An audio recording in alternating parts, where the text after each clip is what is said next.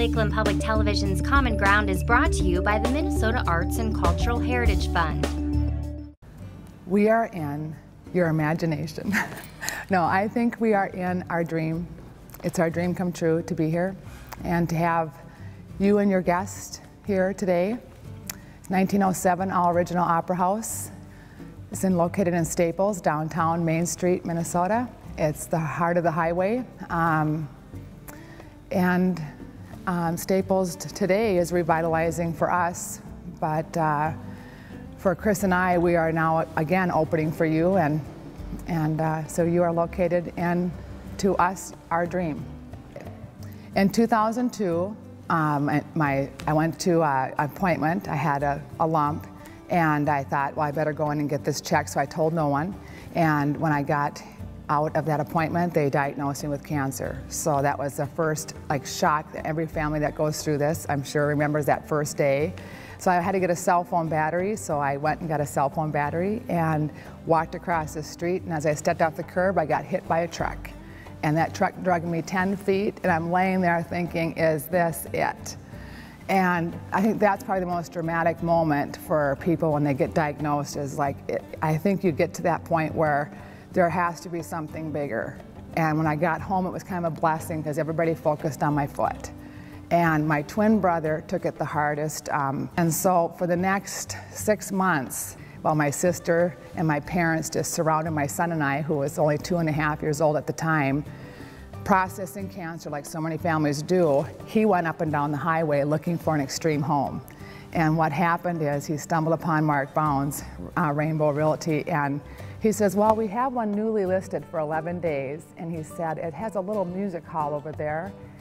And my twin walked over here to a one family owned building, the Batcher family, and he walked up and literally climbed over this room, mounds of storage, up these stairwells, and pulled open the door and a hundred year old light panel and flipped up the lights and you are seeing what you see today.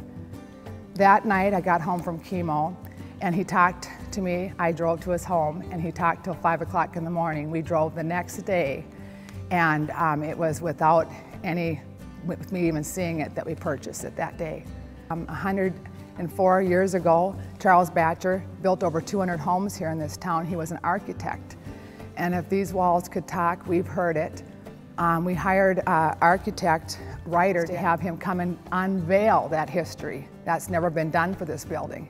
But when we uncovered Charles Batcher's history here, for Staples, for ourselves, basically, um, he had four businesses on the main floor that all faced Fifth Street, and it all happened because of the train, the depot that was here and is still here.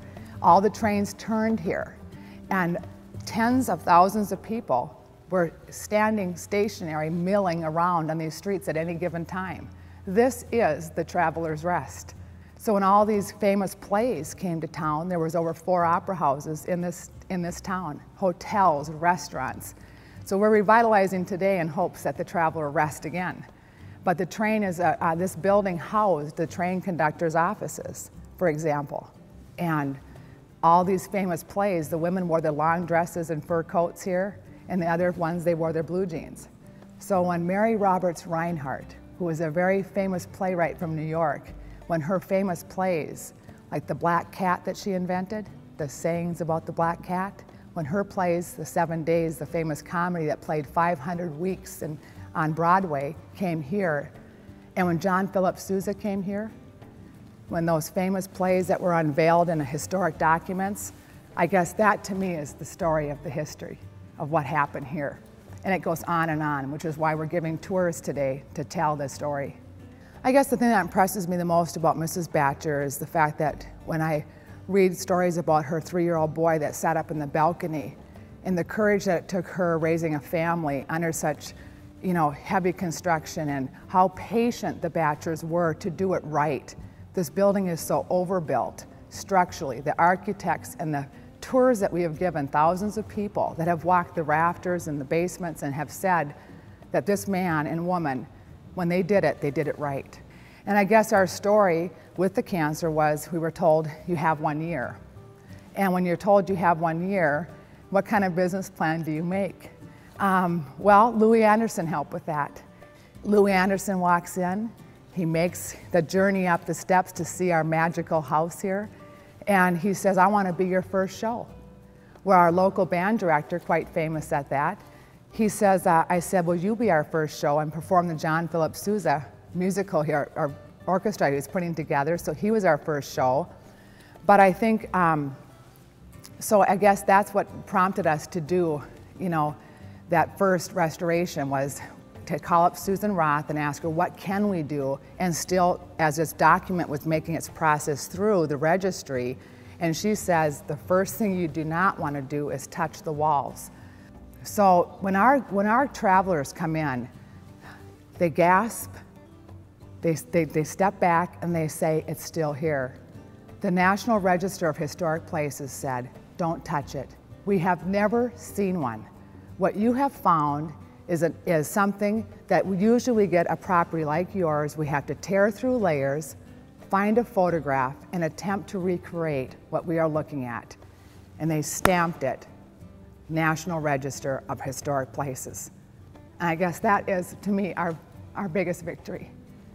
And so when you talk about restoration, I like to talk about reverberation because to Chris and I, Frost twins, we want to tell the world and we want to take our opera hall to the world.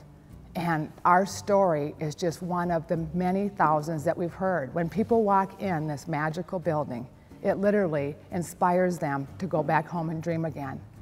And I guess that's the story here. Um, we want a webcam every show. We want a webcam every tour. We want a webcam from the time they walk in to the time they go and it's rock and roll, 50s and blues, and bring your dancing shoes. And so when these folks leave our Midwest for the winter time and they, they don't know what's going on, we want them to be able to log on and capture their granddaughter on the stage singing or the live music that's playing and their grandma dancing. And to be able to never let go of that captured moment so that someday it's also recorded. We are going to have a restaurant here.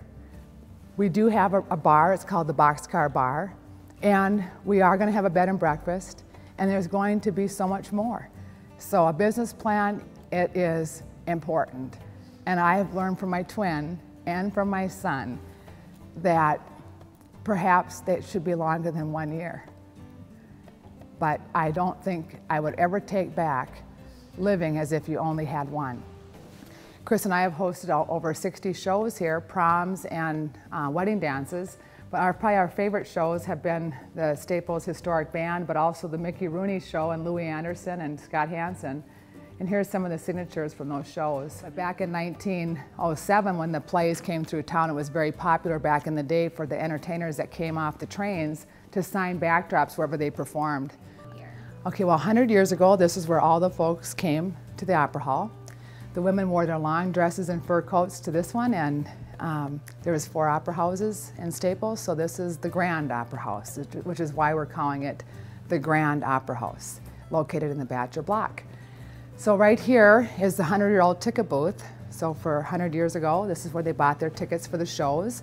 But because of the train 100 years ago, all these conductors that came off the train and had to rest at the Traveler's Rest, they um, reserved rooms up here. So these rooms have doorways lining the interiors of them, boom, boom, boom, all the way down on two floors.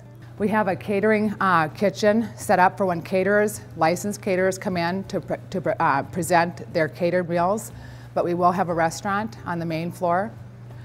Our future plans are for, we have a blueprint drawn for a bed and breakfast. So on the second floor, we'll be housing a bed and breakfast. Every tour we've given, all the entertainers who have come, including you know Mickey Rooney and his wife, they all want to stay oh, here. I mean, that on the stage, there's two doorways, and they're sealed up and, and here now. But the, the entertainers, when they performed here, they came off the stage into this suite. So this is the magic suite. This is uh, on the document. This is where all the magic happened. So when Louie Anderson, Mickey Rooney, and Lamont Cranston performed here, so this is where all the entertainers stayed with all of us, you know, we want to for sure record where we've been. And I think why I'm excited about Staples today is that they do recognize where they've been. But when I see an effort uh, cumulative effort of where they want to go, I know that Chris and I have, have had the right vision, and that is to live your life as if you only have one year, and then embrace the environment that you, the choices that you made with your dreams, and then go out and take this uh, restoration and reverberate it throughout the whole world with the technologies that our young children are bringing, like my son has with this internet and uh, the Wi-Fi capabilities that we have now um, to be able to share these talented people and these travelers that come by these beautiful um, 30 mile an hour traffic opportunities that we still have in our town and uh, see our history uh, unfold. And I guess that's what Chris and I are doing today, is that we're opening up for you.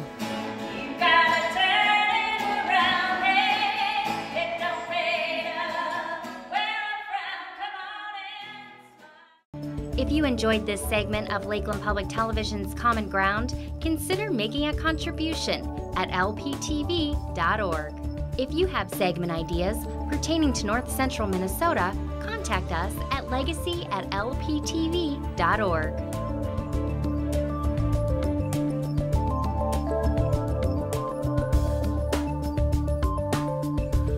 Common Ground is funded by the Minnesota Arts and Cultural Heritage Fund by the vote of the people on November 4th, 2008.